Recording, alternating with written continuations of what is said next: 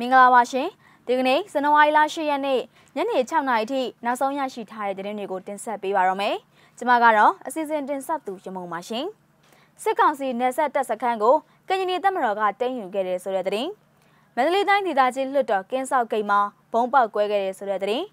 တနင်္သာရီမြို့နယ်အတွင်းမှာရွာသား90နီးပါးကို စစ်ကောင်စီတပ်ကလူသားတိုင်းဖြစ်တဲ့အတုံးချနေတဲ့ဆိုတဲ့သတင်းတွေအပါအဝင်မြိုင်မန္တလေးလမ်းမှာစစ်ကောင်စီကနှစ်ကြိမ်တိုင်းတိုင်းမိုင်းဆွဲခံခဲ့ရတဲ့သတင်းတွေကိုတင်ဆက်ပေးတော့မှာပါ။ဦးဆောင်သတင်းတပုတ်အနေနဲ့ထားမြန်မာနယ်စပ်အနီးမှာရှိတဲ့စစ်ကောင်စီတပ်စခန်းတစ်ခုကိုကရင်ပြည်မျိုးသားတပ်မတော် KA ကဇန်နဝါရီလ9ရက်နေ့မှာဝင်ရောက်တိုက်ခိုက်သိမ်းပိုက်ခဲ့ကြောင်း KNPP ကပြောခဲ့ပါတယ်။ KNPP အတွင်းရေးမှူးနှစ်ဦးအောင်စန်းမြင့်ကဒီကနေ့မနက်ကတော့ကျွန်တော်တို့ဒီနန်းပန်ချောင်းသားမှာရှိနေတဲ့ သူတို့ရဲ့စခန်းတစ်ခုကိုကျွန်တော်တို့ဝင်ပြီးမှတင်လိုက်တာပါခေကတိန်တော့ကျွန်တော်တို့အဲ့ဒီစခန်းကိုတင်လို့ရပါတယ်လို့ဇန်နဝါရီလ9ရက်နေ့ကပြောခဲ့တာပဲဖြစ်ပါတယ်တိုက်ခိုက်သိမ်းပိုက်ပြီးတဲ့နောက်မှာတော့စစ်ကောင်စီတပ်ကအဲ့ဒီစခန်းကုန်းနဲ့ KNPP ဌာနချုပ်ညာမိုစခန်းကိုလေယာဉ်နဲ့လာရောက်ပစ်ခတ်ခဲ့တယ်လို့ဦးအောင်စန်းမြင့်ကဆက်လက်ပြောကြားခဲ့တာပဲဖြစ်ပါတယ်ကရင်ပြည်တပ်မတော်ဌာနချုပ်ရှိရာနယ်မြေအတွင်းစစ်ကောင်စီကဇန်နဝါရီလ9ရက်နေ့မနက်10:00နာရီခွဲမှာဇန်နဝါရီလ10ရက်နေ့မနက်3:00နာရီထိ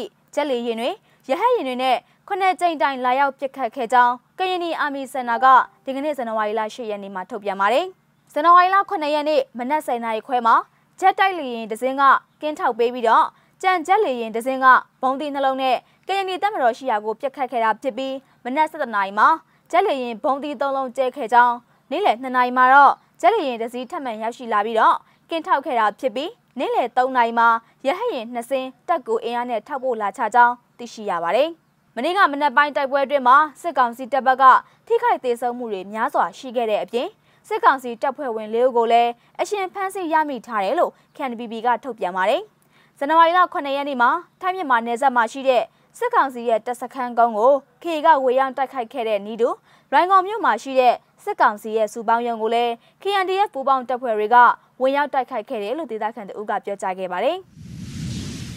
ဆက်လက်ပြီးတော့မန္တလေးတိုင်းဒေသကြီးလွှတ်တော်ကင်းဆောင်ဂိတ်မှာဘုံပေါက်ကွဲခဲ့တဲ့တဲ့ရင်ကိုတင်ဆက်ပေးပါမယ်။မန္တလေးမြို့အောင်မြေသာဆန်မြို့နယ်မှာရှိတဲ့မန္တလေးတိုင်းလွှတ်တော်ကင်းဆောင်ဂိတ်ကိုဒီကနေ့မနက်ပိုင်းမှာဘုံတွေပေါက်ကွဲပြီးတော့အရာရှိတအုပ်အပါအဝင်စစ်သား3ဦးသေဆုံးနိုင်ကြောင်းဒေသခံတွေကပြောကြားခဲ့ပါတယ်။ဇန်နဝါရီလ10ရက်နေ့မနက်8:15မိနစ်အချိန်အောင်မြေသာဆန်မြို့နယ်မှာရှိတဲ့တိုင်းလွှတ်တော်ရုံးအဆောက်ဂိတ်မှာဘုံပေါက်ကွဲခဲ့တာဖြစ်ကြောင်း ပထမဘုံပေါက်ကွဲစဉ်စစ်တပ်ကလာရောက်စစ်ဆေးနေတော့မှာပဲဒုတိယကြိမ်ဘုံထပ်မံပေါက်ကွဲခဲ့တာဖြစ်ပြီးအရာရှိတအုပ်နဲ့စစ်သား2ဦးစုစုပေါင်း3ဦးဘုံထိမှန်ပြီးတော့တေဆုံးနိုင်ခြေရှိတယ်လို့မြေပြင်ကင်းထောက်ဖွဲ့ကပြောခဲ့ပါတယ်။သူတို့ဘက်က3ယောက်သေမဲ့အခြေအနေမှာရှိတယ်။ဒုတိယကြိမ်ပေါက်တဲ့ဘုံမှာထိတာပါ။ပထမတစ်ခါပေါက်တယ်လူတော့မထိဘူး။သူတို့လာစစ်နေတဲ့အချိန်မှာထပ်ပေါက်တာမှထိတာ။သူတို့တွေအထိနာလို့တမျိုးလုံးစစ်ဆေးတာတွေကိုလုပ်နေတယ်။ဓာတ်ပုံလေးနဲ့ပါတိုက်စစ်နေတာလို့သိရပါတယ်။ဒါအပြင် ဒီကနေ့မနက်ပိုင်းမှာအောင်မြေတာဆန်မြို့နယ်အုပ်ချုပ်ရေးမှူးတစ်ခုမှဘုံပေါက်ကွဲခဲ့ပြီးတော့စစ်ကောင်စီတပ်ဖွဲ့ဝင်တွေဟာတနက်တွေနဲ့ဆိုင်ကယ်စီးနှင်းသူတွေကိုလိုက်လံပစ်ခတ်ခဲ့ကြောင်း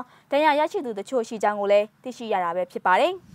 ။တနင်္သာရီမြို့နယ်အတွင်းမှာတော့ရွာသား90နီးပါးကိုစစ်ကောင်စီတပ်ကလူသားတိုင်းဖြစ်နေအုံချနေပါတယ်။ဒီသတင်းကိုဆက်ရရင်တော့ဗိတ်ခရိုင်တနင်္သာရီမြို့နယ်တကူကျေးရွာအုပ်စုမှာစစ်ကောင်စီတပ်ဖွဲ့ဝင်တွေကရွာသား90နီးပါးကို စစ်ယူနီဖောင်းတွေအတင်းကျပ်ဝတ်ဆင်ခိုင်းပြီးတော့တောင်းနှင်းရှာဖွေမှုတွေပြုလုပ်ရမှာလူသားတိုင်းဖြစ်တဲ့အုံချနေကြောင်းဒေသခံတွေထံကတစင်သိရှိရပါတယ်။ပထမကတော့ပြည်သူ30နီးပါးကိုလူသားတိုင်းဖြစ်နေလှုပ်ဆောင်ခဲ့တယ်။အခုက PDF အဖွဲ့ကိုတောင်းနှင်းရှာဖွေရမှာလမ်းမှာမတင်ကားတဲ့လူတွေကိုဖမ်းပြီးတော့လူသားတိုင်းအနေနဲ့လုပ်နေရ90ကျော်နေပြီးရွာရီအဆောင်ပါပါတယ်လို့တကူကျေးရွာမှာနေထိုင်တဲ့ဒေသခံတို့ကပြောကြားခဲ့တာပဲဖြစ်ပါတယ်။စစ်ကောင်စီကနေမြေစိုးမိုးရေးအတွက် ဥယျာဉ်ချန်ပိုင်ရှင်တွေဒေသခံတွေကိုဖမ်းဆီးပြီးတော့လူသားတိုင်းဖြစ်ပြုလုပ်ခဲ့တာဟာမရချောင်းတကူတန်တိုက်ဝမ်းနာအင်းရှိကုန်း၆အိမ်စုပြည်အေးရွာနဲ့တကုံငယ်ရွာတွေကအပြစ်မဲ့ပြည်သူတွေဖြစ်ကြောင်းသိရှိရပါတယ်။ဒေသအတွင်း PDF အဖွဲ့ကိုဖမ်းဆီးဖို့အတွက်စစ်ကောင်စီအင်အားတရာကျော်ကနေမြေစိုးမိုးရေးအကြောင်းပြပြီးတော့လူသားတိုင်းဖြစ်နေအုံချနေတာပဲဖြစ်ပါတယ်။တနင်္သာရီမြို့နယ်တကုံနဲ့တရပင်ကျွေးရွာတို့မှာပြီးခဲ့တဲ့ဇန်နဝါရီလ2ရက်နေ့နဲ့3ရက်နေ့က တကူရဲစခန်းနဲ့မိုင်တဲတာဝရိုင်း၃နိုင်ကိုဖျက်ဆီးခံရပြီးတဲ့နောက်အခုလိုမျိုးစစ်ကောင်စီတပ်ကအင်အားသုံးဝင်ရောက်လာခဲ့တာပဲဖြစ်ပါတယ်ရှင်။နောက်ဆုံးသတင်းသဘောအနေနဲ့မြိုင်မန္တလေးလမ်းမှာစစ်ကောင်စီကနှစ်ကြိမ်တိုင်တိုင်မိုင်းဆွဲခံခဲ့ရတဲ့သတင်းကိုတင်ဆက်ပေးကြပါမယ်။စကိုင်းတိုင်းမြိုင်မြို့နယ်မြိုင်မန္တလေးလမ်းမပေါ်မှာရှိတဲ့တောရွာတွေအနီးမှာစစ်ကောင်စီကတစည်းကိုဒေသကာကွယ်ရေးတပ်ကဇန်နဝါရီလ9ရက်နေ့မှာနှစ်ကြိမ်တိုင်တိုင်မိုင်းဆွဲတိုက်ခိုက်ခဲ့ကြောင်းသိရှိရပါတယ်။အဲ့ဒီစစ်ကောင်စီက